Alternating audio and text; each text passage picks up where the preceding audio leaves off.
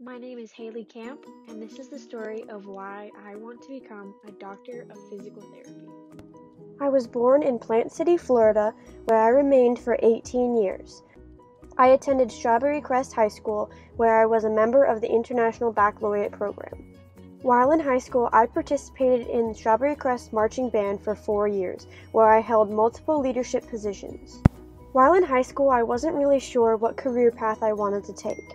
So I thought back to my experience as a child. When I was about two years old, I was diagnosed with an IgA deficiency, and as a result, I was in and out of doctor's offices for years, even hospitalized at one point. My constant exposure to the medical field encouraged me to pursue a career in that field in order to help children like myself. So I began studying health sciences at the University of Central Florida in 2016 with the aim of working somewhere in the medical field after graduation. I just wasn't sure exactly where in the medical field just yet. I knew I wanted to help people, but I wasn't sure how. While at UCF, I spent my time volunteering through Knight-Thon and the Linus Project. Both organizations aid local sick children in the hospital.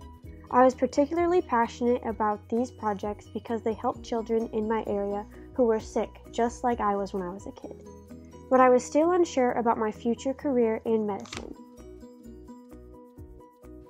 That was until March 11th, 2018.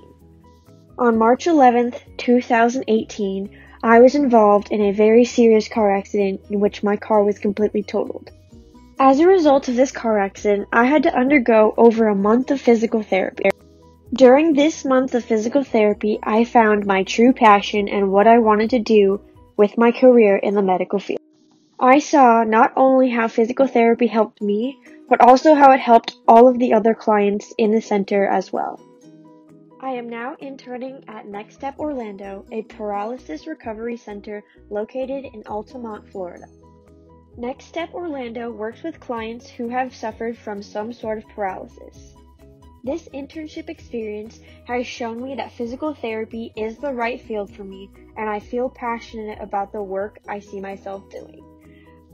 After graduating from UCF with my bachelor's in health sciences, my hopes are to pursue a doctorate in physical therapy so that may, I may continue to help people through physical therapy. If for whatever reason I do not attend a doctor of physical therapy program, I would be happy working in the medical field no matter where.